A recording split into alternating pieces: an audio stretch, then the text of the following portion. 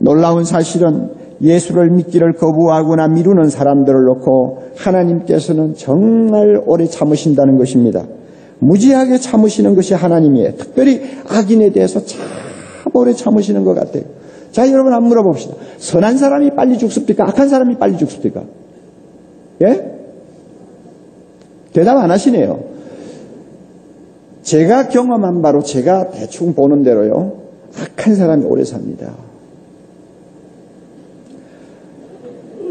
작은 교회들 가보면요.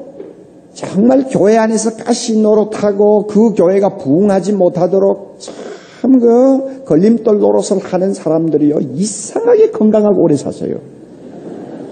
예.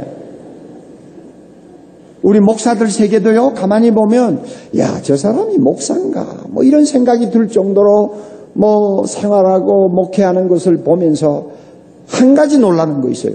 무지무지하게 건강하고 오래 산다는 거예요.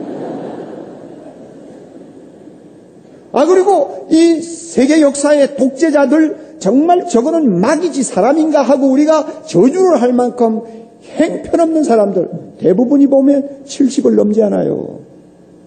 오래 살아요. 그 이유가 뭔지 아세요?